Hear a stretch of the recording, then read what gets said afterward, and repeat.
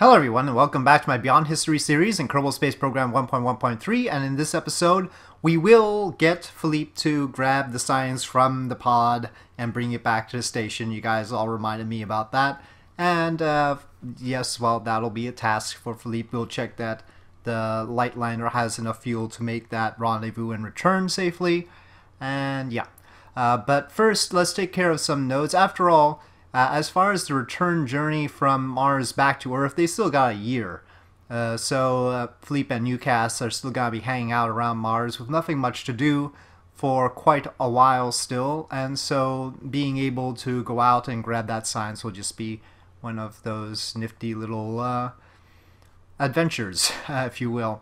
Uh, but first, let's take care of these maneuver nodes that we've got plotted 21 days, 23 days, 24 days, and even this one for Uranus Ambassador two, and then we'll have uh, Philippe grab that science. And we should have enough food, water, and oxygen everywhere so that we don't have to do any resupplies. If we take a look at 41 days here, well, we've got 93 days minimum at Moonport 1, and uh, Spaceport 2 has 105 days. And that's really just the food at Spaceport 2 that we need, but our resupply vessels carry everything, and I don't want to redo them just to carry food. So we will just launch a regular one up there. And so yeah, we have that. And I'll, uh, I actually need to queue more of that stuff. Uh, we've got a resupply here and a moonport resupply. More spaceport. Re I, I don't actually need more spaceport or moonport resupply vessels here because we've got a whole lot of them already queued up, ready to go. And three Crewmaster A launches. So yeah, okay. Uh, let's let's get on with uh, the maneuver nodes that we've got planned. Okay, and then right about here-ish is where we want to capture.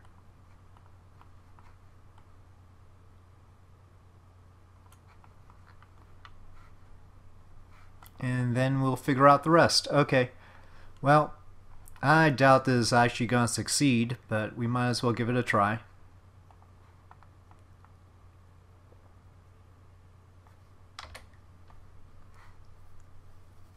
at least we have verified that we can truck this hydrogen and oxygen out here and they don't seem to be boiling off right now you can see zeros there so if it was boiling off at all it'd have 0.00 even if it's a tiny amount just like the plutonium has.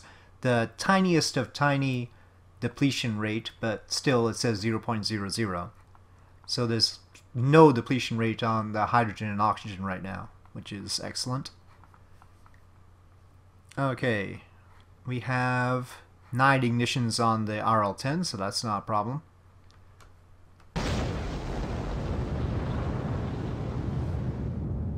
Most important thing is to make sure periapsis is positive. And, oh, oh, why can't I, oh, I, I was hovering above the stupid Mech MechJeb thing, and I overburned because it didn't stop in time.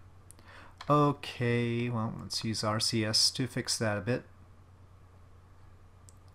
Yep, if you hover over the Mech MechJeb displays, your controls don't work. I'm sure many people have had that problem before.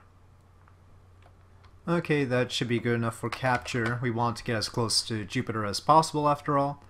And then we're going to use 1250, I guess, to do this capture and then we're going to have to correct everything. I don't know if we're going to get into this tight an orbit or if we want it even looser to correct the inclination. Let's see. Let's just add this alarm for now. And once we get there, we'll figure it out. Okay, next up we are checking in on two Venusport modules that are approaching Venus, of course. And it looks like we'll take care of them and get them into orbit before we turn to anything else. And yep, so five days to that dummy maneuver, which is the entry into the SOI. And then we can aim for orbit.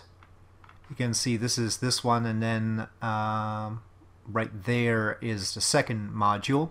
What we would like to do is get both into the same inclination and then dock the two together. that would be most useful. Right now they are carrying very little supplies. Uh, perhaps we should, I mean it seems like it's pretty far away from Venus, isn't it? It's, is this one of those cases where it was a dummy maneuver and for some reason we probably ought to have a maneuver? Because this is, this is unacceptably far away from Venus, isn't it? I wonder if things have changed since the last time I've looked at it. We recall that one of the Marsports decided to have a wildly off-track orbit when I looked at it belatedly. Oh yeah, well we have a lot more delta V here to correct things, but yeah, it's, it's gonna take a lot to actually correct things here. Yeah, something got thrown off. I'm pretty sure since it was dummy maneuver right there, that we were much more in line with Venus than this track gives us credit for. And with that much delta V on board, there's no reason why I wouldn't have corrected it earlier. That leaves us 1,700 to make orbit. Um, feels like it's doable, though we'll be in an elongated orbit. Which also means that if we want to do this with the other mission, if it turns out that the other one is also messed up, we should jump to it right away. But let's do this first correction first, right now. Maybe I should just done prograde instead of radial. I don't know if that would be cheaper. Usually it's radial when you enter the SOI. Mm, nope. I, well, it's close, but... Yeah, I don't think... Prograde is better. But maybe a combination of prograde and radial might be a good thing this time. Yeah, that's cheaper. So it's cheaper to do a combination of prograde and radial at this distance. And, well, let's have it about the same height as our station around the Earth. And if we do that, we've got 2,000 meters per second left, it looks like. That can get us into that sort of orbit, which ain't great. Well, a little bit higher, actually. Not great, but let's jump to the other mission. We'll set this alarm so that we remind ourselves that this has to be done, and then go to the other mission. And we'll send some more fuel over to bring them down to a prop more proper orbit. We can't really burn all of this, so we should probably, uh, because we probably want some fuel on board just in case and to help with rendezvous later. So we should aim for, well, that's two days. Um, that's t minus two days. That's not a two-day orbit. It's a pretty quick orbit, actually, when you look at it. Right now, what it's saying is that if we go into this orbit, that's um, that's like an 18-hour orbit.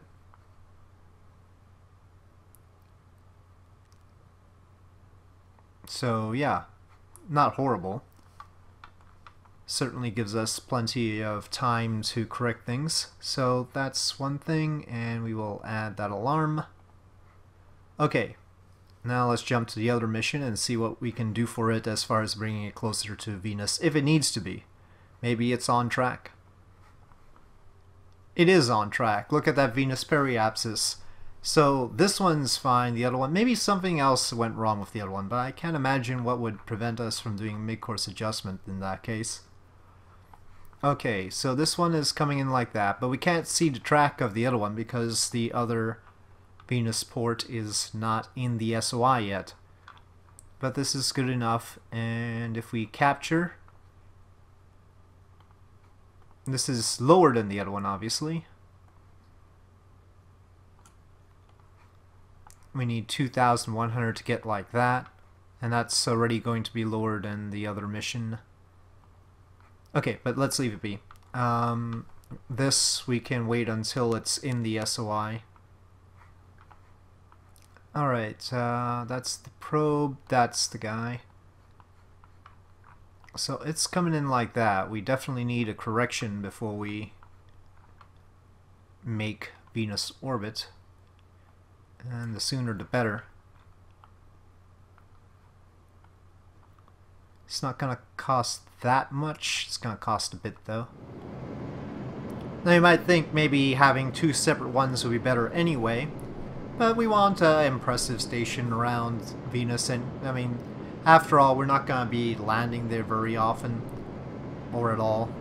Um, uh, so certainly not with a Kerbal. So we uh, we want some good a good platform to observe Venus from. Let me put it that way. Well, we better start the retroburn now.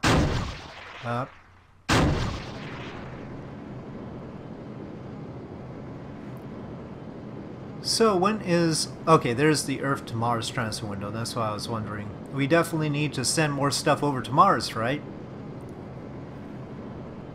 It's sort of a shame that we have to have our previous crew on the way back before we get the next crew over there.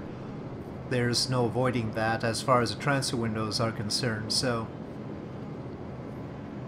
Yeah, that's as far as a continuous habitation around Mars, that the scheduling is gonna be a little bit tricky as far as the crew rotations, but I intend to try that out. For Jupiter, there we have um, some more Jovian demons to launch. I think that's all we're going to do for this time around those might help the Jupiter low orbit mission to get lower and into the right orbit.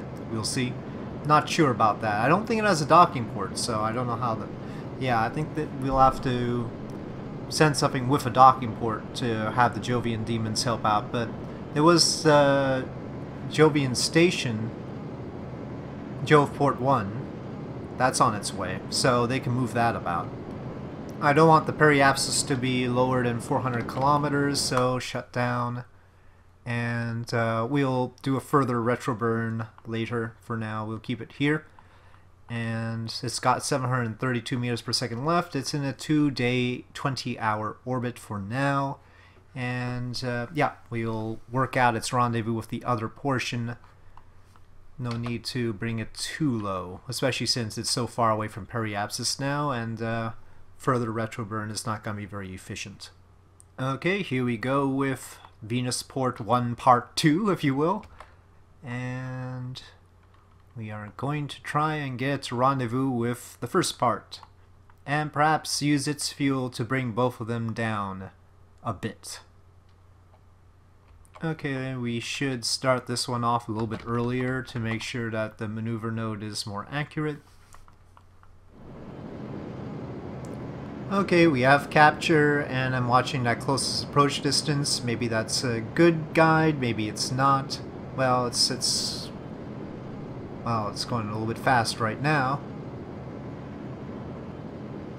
We will see. Uh, still 100 kilometers. We'll probably have to correct it somewhere else. We see something going on there.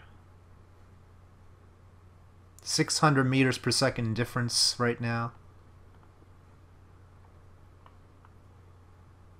Well, let's just do burn in a day and see what happens.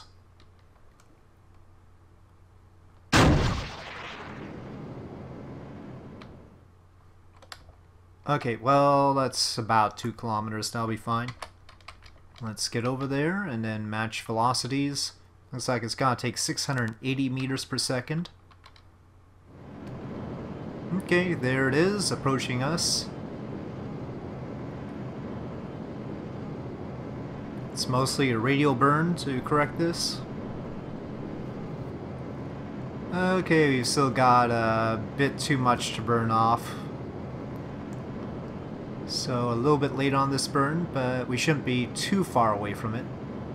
Uh, it's getting over there though. Okay, I think I'm going to dock them with all the life support tanks facing each other. No reason to keep those locked right now. They were only locked to prevent the launch clamps from refilling them.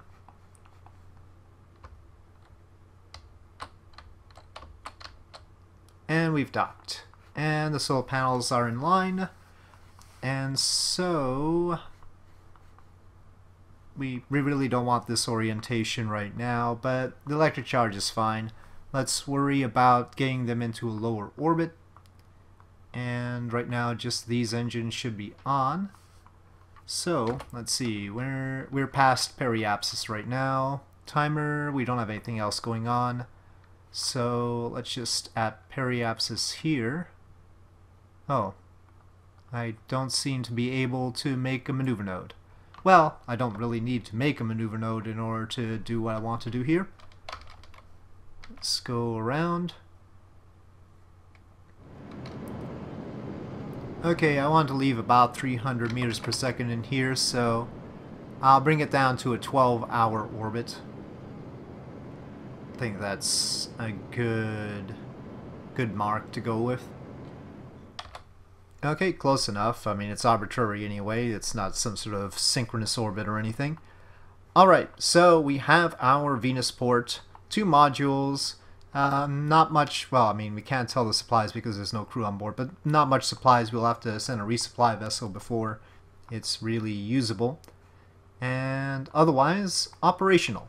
So that's good. Okay, on to other things.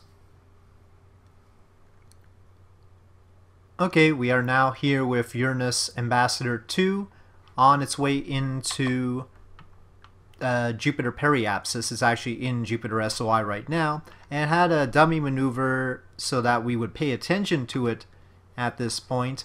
And I've decided that instead of just having a dummy maneuver there and just getting rid of it, we would do a 5.4 meter per second correction to help us get closer to Uranus. I think that would be a good idea. So let's get to that. And after this, we'll turn back to Philippe and Newcast around Mars and try and get that science. Nice view of Jupiter, but we're not here to do anything with Jupiter in particular. And we'll just pass on by. We're not going to do any additional science. I think we've gotten everything at the equatorial bands anyway. And that's how we're passing by. Okay, this is our initial orbit, so obviously we need to correct that. How long until we have to do the Uranus flyby? It's important that we do it on time, after all. Well, it doesn't give me the time here, but correcting to this periapsis will bring us below 20,000 kilometers, so that's good. I think that might be close enough. I don't want to crash into Uranus. 800 is too close that will be good. Yep, that will be good enough. Okay, so what we really need is something to tell us when we're entering Uranus's SOI, because that's the next important thing that's going to happen with this probe. We don't have to do any correction between Jupiter and Uranus. So, eight years we have to wait for. And there it is. Well, I guess we can see when the contract is up like this, and we will arrive in Uranus at Uranus well ahead of time, a thousand days ahead of time before the contract is up, so that's fine. Why the Pluto flyby was the one that uh, had the tightest time frame is beyond me, but that's how it was. Okay, well, let's enjoy the flyby of Jupiter here. Looking good. I don't know why the dish is pointed directly at it. It's not like the dish can communicate to anything on Jupiter, I think. Odd little shadow it had there. And we're headed out. Okay. Well, I think we can safely let this go out on its own. And it's got a lot of delta V, really. It should be able to make orbit around Uranus. Okay, so here we are with the Marsport complex with uh, Ares Pod A and the uh, Light Lander and the UDMH Jeep Depot. And Philippe is still in the Light Lander, and I've topped it off with fuel. It still has uh, good food, water, and oxygen. And we are recharging as a whole. But right now we can separate off uh, the light lander and have it rendezvous back up with Ares Pod G to grab the science. So let's do so. Undock. We've got 2,225 meters per second, it looks like. Okay, 1.9 kilometers, relative speed 700. So rendezvous is going to take about 770 meters per second, let's say, which is well within our budget. Uh, that periapsis looks a little bit troubling. Hold on. Um, well, that periapsis occurs after we meet up with it, so it should be alright, I guess. Okay, we seem to have a nice closest approach distance. Actually, we can get it nicer than that. And more importantly, our periapsis is out of the atmosphere. That is very important to Philippe's well-being. It should take just as much delta V to get back up to the station, so we have 700 meters per second to spare. We can't dock to Ares Pod G. Philippe is going to have to EVA to get the science, but that's probably preferable anyway. Okay, Philippe revisiting the pod with a complicated history, let's face it. I'm sure Philippe has mixed feelings about this particular pod.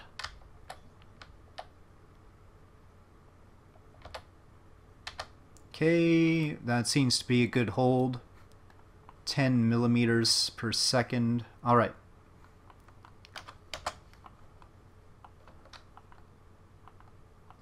No, don't disassemble the part. There is science here, right? guys maybe come all the way back here. There better be science somewhere. Okay, grab. Nope. I don't know what you guys are talking about. There's no signs here. well, apparently, uh... Yeah, I don't know what signs there was supposed to be, but there's no signs here. So, that was completely useless. Well, let's do a crew report now. Or analyze telemetry. Nope. We have to... I don't know if he wants to go back inside. But let's go back inside. Yeah, there's no science. Well, this is crew report from space just above Mars lowlands. So let's keep that. I guess Philippe didn't really have time to get any science from the surface. I don't know. I don't know whatever happened to to the science that we had before. If we had any science. I don't even remember. Okay, well. Okay, well we got some science. It wasn't any science from the surface, apparently. But we got some science. I don't know what happened. Anyway, orbit prograde. Let's get away from the pod before it does something to kill us or something. You never know.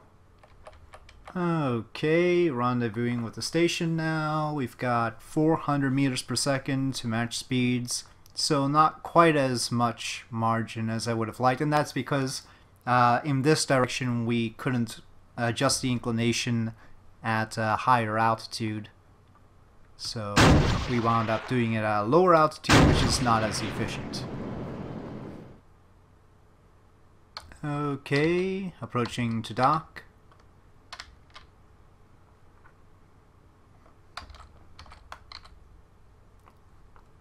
Nothing better than a casual Lightlander excursion, right?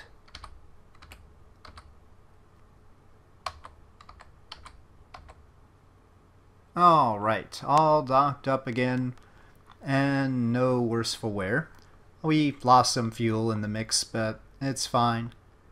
And uh, we should probably top off everything in Ares pod A just before we do anything else. Of course, we've got the UDMH here. I don't want to accidentally undock it without stuff. But yeah, as I'm rebalancing everything here, I think we'll wrap it up. And I'll say thank you for watching. I hope you enjoyed this video. If you did enjoy this video, please do press like. If you have any comments or suggestions, please leave them in the comment section below. And I'll see you next time.